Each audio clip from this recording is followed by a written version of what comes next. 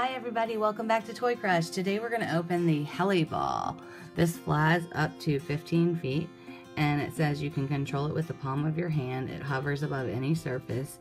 No batteries are required and you charge it using a USB. So there's different ones that you can get and I'll kind of show you. There's different ones. There's even like a soccer ball. And it says it's a powerful levitating sphere. So we're going to see how it works. Um, it says to control the heliball, to begin the heliball, flip the switch below the ball to on.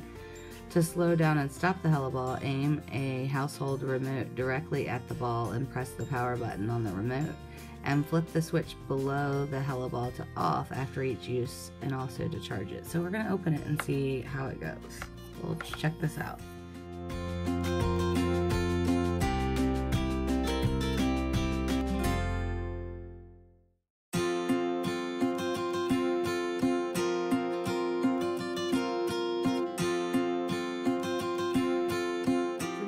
Heliball looks like and it's got these blades on it and I've taken it out of the package but this is what it looks like and I am going to grab a remote and see if it will actually take off.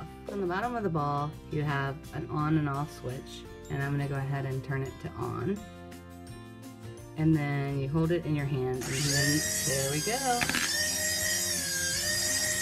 So this is how the heliball works. And then when you're done, so uh, just hold it in my hand while it's working. But when you're done, you make sure that you turn off the switch. This is pretty cool. So I'm to try it again and see if it'll work. All right, that flew right off the set. So I'm using this powered with a Verizon Fios remote is what I used. And when I hit the power button, it just goes off and I kind of hold it at first and then I can let it go and it flies up. And then when I want it to come down again, so I'll do it again. Let's see. And see if we can get it to go.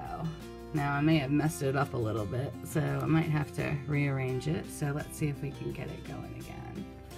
I don't think I can, so I may have messed mine up, but and gotten this too. Let's, so let's turn it off for a second, and I'll see if it will work again when I turn it back on.